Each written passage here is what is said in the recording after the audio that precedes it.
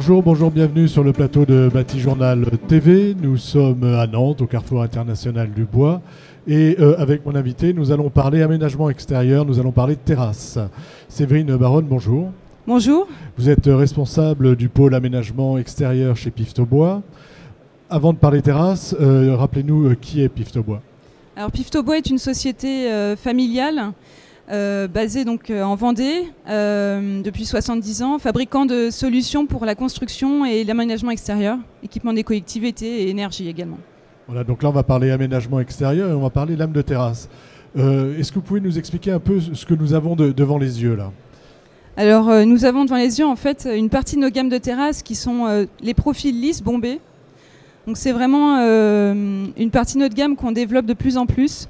Donc on a démarré en 2012 avec des premiers profils et on a développé là, depuis 2016 euh, en fait des nouveaux profils à la fois en Douglas et en pain pour répondre aux demandes euh, des clients. Qui est Quelle est cette demande? Alors la demande, elle va porter à la fois sur l'aspect esthétique. Euh, donc là, on a quelque chose de très très épuré en fait, un aspect type parquet, comme en intérieur. C'est-à-dire quoi là hein Aujourd'hui, sa terrasse, on veut que ce soit un peu comme à l'intérieur, que ce soit du parquet plutôt qu'une terrasse striée. Oui, on va rechercher de plus en plus un aspect esthétique, décoratif à l'extérieur. Et pourquoi bomber les lames Alors, le bomber, en fait, euh, va permettre à l'eau de s'écouler euh, naturellement euh, sur la lame, de s'écouler entre les lames. Donc ça, à la fois en termes de durabilité et d'entretien, et en termes aussi de côté anti-glissance, ça va vraiment apporter quelque chose à la terrasse. Donc si vous voulez, le fait d'avoir le bombé, l'eau va s'écouler entre les lames, et en plus, elle ne va pas être retenue, comme on peut la voir sur des lames avec des stries ou des rainures, elle va pas être retenue sur la surface. Donc tout ce qui est, tout ce qui est aussi euh, euh, mousse, tous les végétaux qui sont à l'extérieur ne vont pas se déposer sur la, sur la, lame. Voilà, tout ce qui salit et tout aussi ce qui peut me faire glisser en fait. Hein. un meilleur écoulement de l'eau tout en ayant un, aspect euh, lisse recherché par les clients. quels sont les Est-ce que vous pouvez nous, nous, dire un petit peu, nous décrire un petit peu ce qu'on a devant les yeux en termes de, de finition? Alors en termes tout d'abord, d'essence, en fait, on va travailler sur trois essences en terrasse. Le mélèze, le Douglas euh, qui va nous permettre euh, d'avoir des produits euh, à la fois avec un aspect naturel en robier et aussi une finition grise. Voilà, donc ça, hein, c'est une lame de, de Douglas, c'est ça? C'est une lame de Douglas qui est en fait un aspect pré-vieilli. C'est-à-dire que la terrasse, quand elle est neuve, en fait, elle a l'aspect euh, qu'elle va avoir euh, au fil des années. Voilà, paradoxalement, hein, on n'aime pas trop des fois quand le bois vieillit, mais on aime bien qu'il vieillisse euh, à l'avance et qu'il soit gris comme s'il avait vieilli naturellement. Ce soit, voilà, ouais, tout à fait. C'est l'aspect recherché. C'est l'aspect recherché, d'accord. Là, on a une lame très très épaisse. Alors là, on a une lame qui s'appelle la lame Rio, qui fait 46 d'épaisseur. Donc 46 mm, ce qui va nous permettre là à la fois d'aller sur des espaces publics avec du fort passage. Euh, une lame très épaisse qui va nous permettre aussi, euh, en termes d'anthrax, d'aller jusqu'à 1 mètre d'anthrax de Lambourde.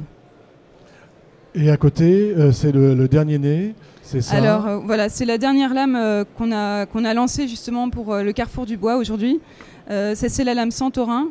Donc c'est une lame sur, sur, laquelle on va cumuler à la fois les avantages des lames lisses bombées et aussi l'avantage d'une lame persienne persienné pour avoir euh, justement euh, dissimulé euh, les structures qui sont sous les terrasses et en même temps en fait rendre beaucoup moins visibles les jours qu'on peut avoir entre les lames.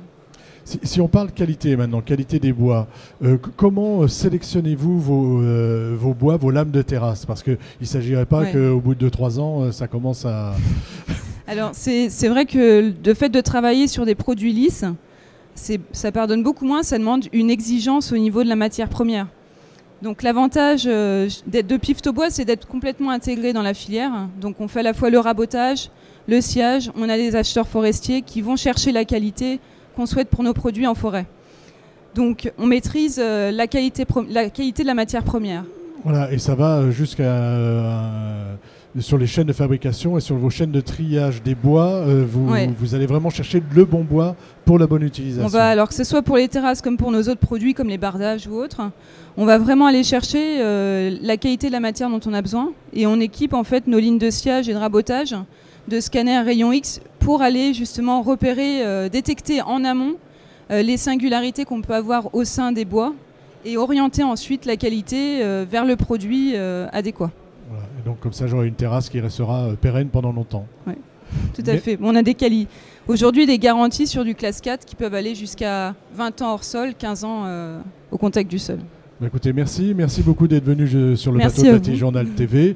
Une vidéo à retrouver sur notre site. Et puis j'imagine qu'on peut aller voir encore jusqu'à la fin du carrefour les lames de terrasse sur le, vous le stand de Pifto. Et euh, évidemment, vous avez un site internet. Merci beaucoup. Merci à vous.